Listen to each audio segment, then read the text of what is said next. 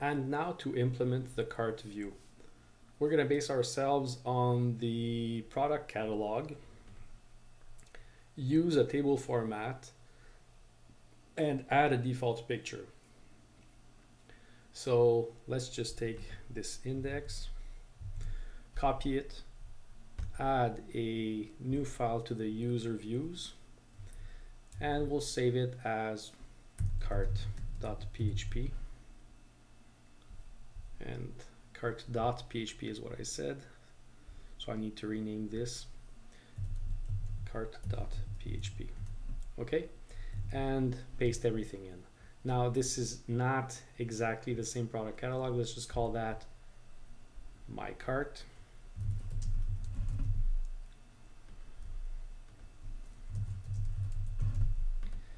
And uh, the logout link we can take care of after. Let's remove the adding an item. And now we have name, price, action. Let's add here the picture. And in fact, we actually don't need to have the, um, the headings at all, but let's just add the picture in.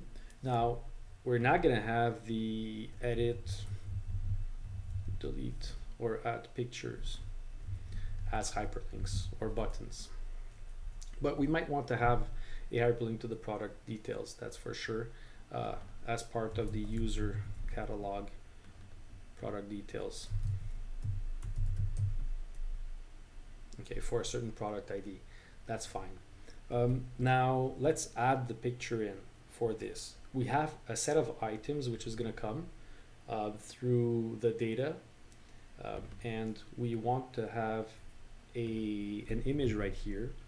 So img src is equal to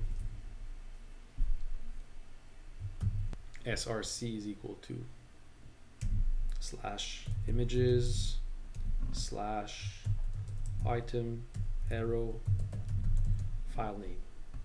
Good. And so this is going to show an image. We can format it a bit later. There's going to be an item name and an item price. We should certainly set also a quantity.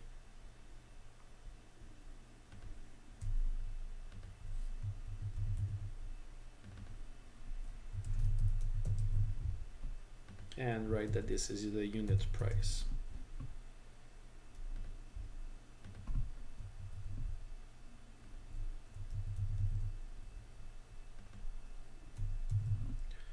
Okay.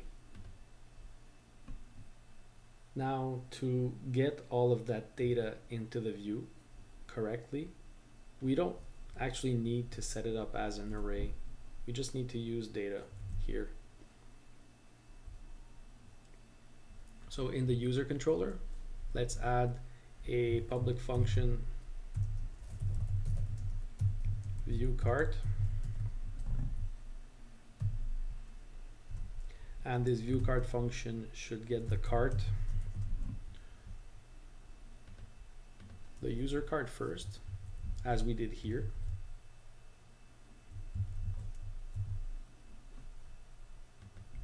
And then from there get the order details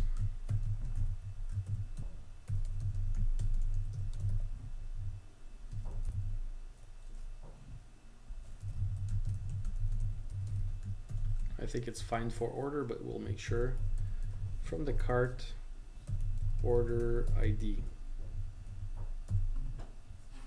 And let's go verify here in the order detail model. We have get for order with order ID.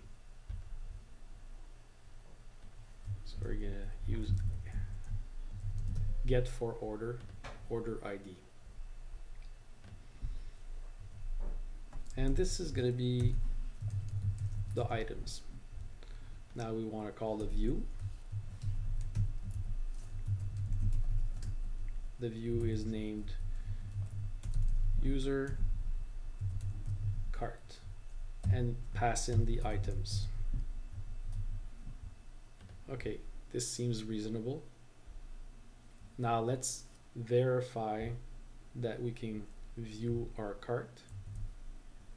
Uh, but before we do that, let's add a hyperlink to our product catalog. The viewer product catalog, that is. So here we have our logout link and it stands to reason we should not have a shopping cart if we're not logged in with this technique because we're using the session user ID. Um, so let's just say user view cart here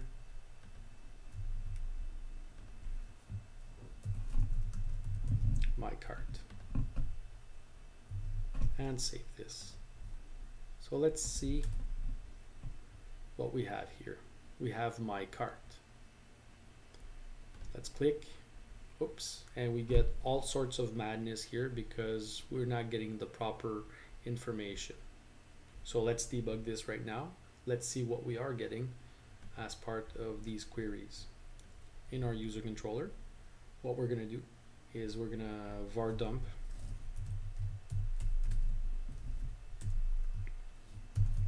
items not call this and see what's going on. And if we look at this, always echo pre for pre-formatted before you do var dump. Okay, there's a question why this is shown as such. There is an error in the way that we are getting this in the order detail uh, get for order. We want to fetch class and not product, really not product, but really order detail. This is what we would need. That's going to make a difference.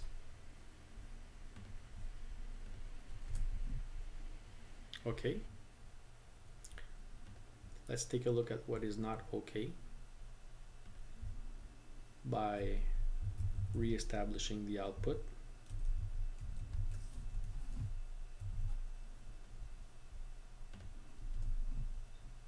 Okay, so we have our milk here and we can look at the milk details and that's pretty good.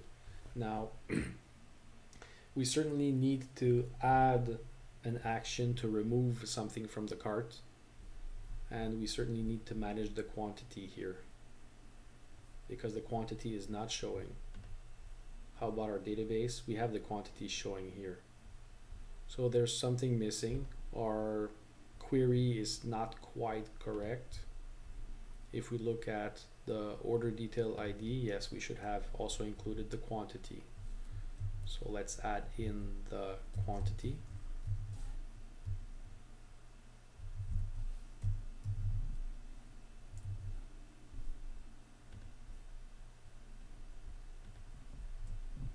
And we see the quantity now. Good. Now, as part of our cart, let's add a hyperlink to remove an item.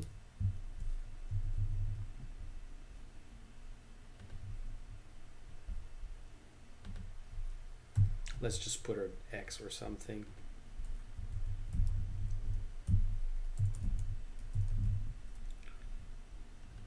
User remove from cart. And instead of product ID we want to use the order detail ID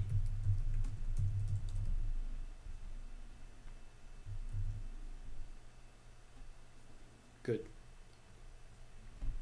Now if we look at the user controller to remove something from the cart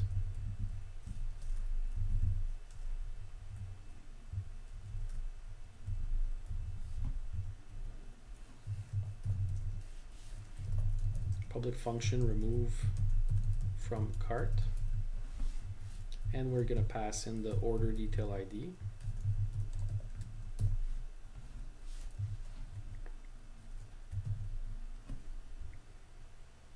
we need to first get the item. So we're gonna do that by using this model order detail and let's just find an item. And I believe we had not implemented this yet.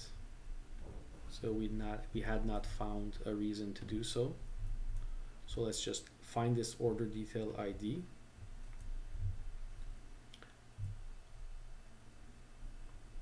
so let's just select star from order detail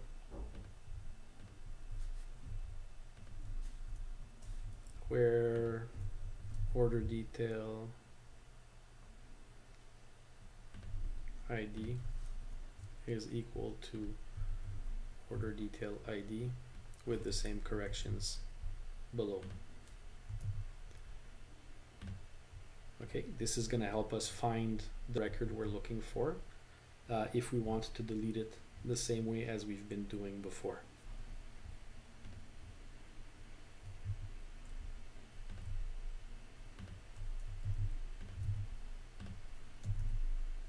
Okay and now we want to delete the item.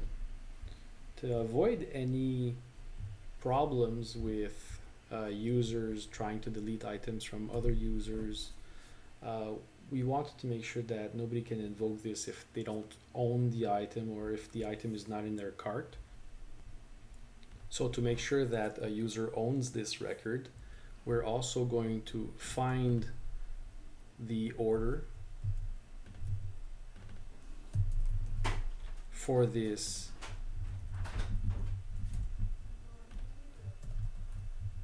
order. So I'm going to get item order ID to get me to the order. And if the order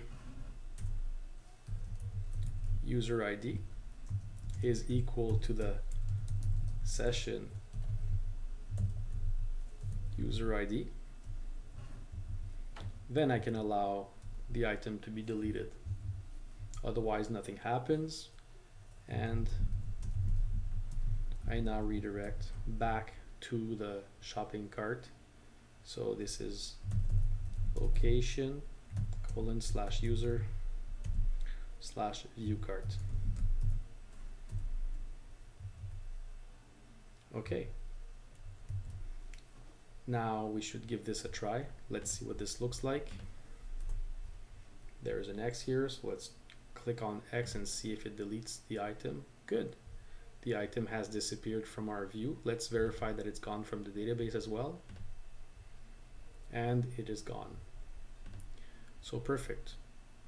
Well, we certainly have to have a hyperlink back from my cart back to the um, actual product catalog. So let's just add in this hyperlink right now.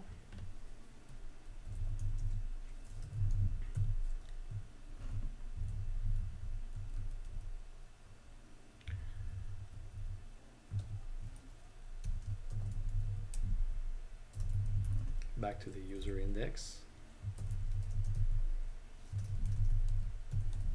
And we say back to the catalog.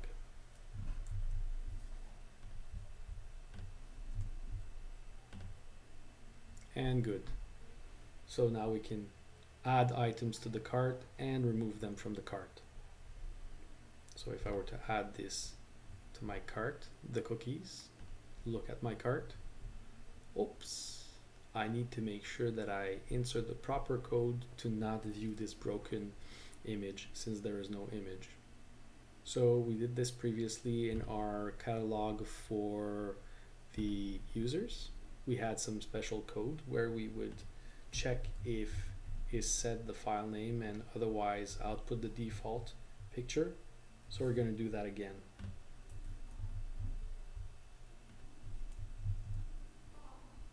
Looking at our cart. Let's look at where this happens right here and simply paste that in save it and look at it again there we go. The default image appears. we're good. Now, it would be suitable to change the quantity to what we wish to have. Let's just say we want to buy three boxes of cookies, then you know we want to be able to do so. Uh, maybe there's going to be two techniques to do this. When we go back to the catalog and add an item to the cart for a second time, if we look at our cart, we should not have twice the item, but only once the item with an incremented quantity. So let's make that change now. If we look at our user controller, when we're adding to cart, and we wish to make sure that we change the quantity by one, this would be an update. So for this to happen, we need to make sure that order ID and product ID become unique and that we can insert into a table and on duplicate key update. So we already have a duplication in order ID and product ID combination right now. And so we need to delete one of the records to make the change happen. In the structure, we can select order ID and product ID and then click on unique. This is going to ensure it's impossible to have two records with the same combination of order ID and product ID. Now let's try, let's look at the data. We have product ID 5 and order ID 1. So using this format, the type of query we want to accomplish is insert into order detail an order ID product ID quantity and price with values I believe the order ID was 1 the product ID was 5 the quantity we wish to add is 1 and I think the price is 658 and on duplicate key we want to update the quantity to increment it by 1 so we write quantity is equal to quantity plus 1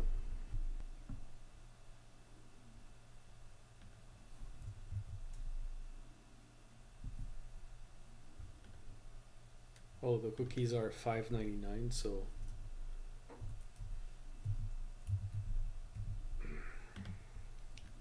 So if we were to try to increment this, click go,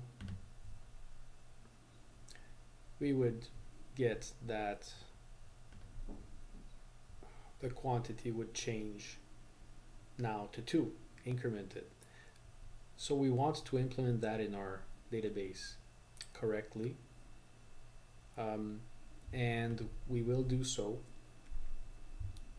by modifying how we create an item in our model order detail and so here instead of simply inserting we want to insert into order detail order ID product ID quantity price the values which we did and then we do on duplicate key update.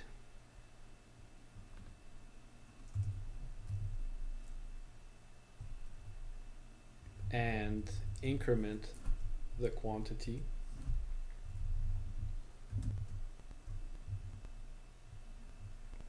let's try just adding the quantity placeholder again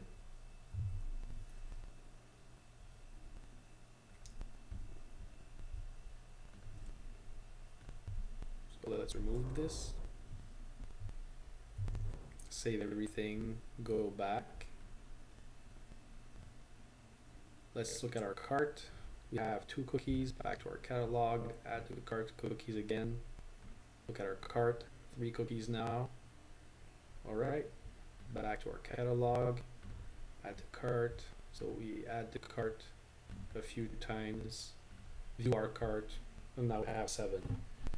Delete, it's gone, back to our catalog, add to cart, two items, view our cart, the items are there. Okay. So I hope you enjoyed this video and have a good day.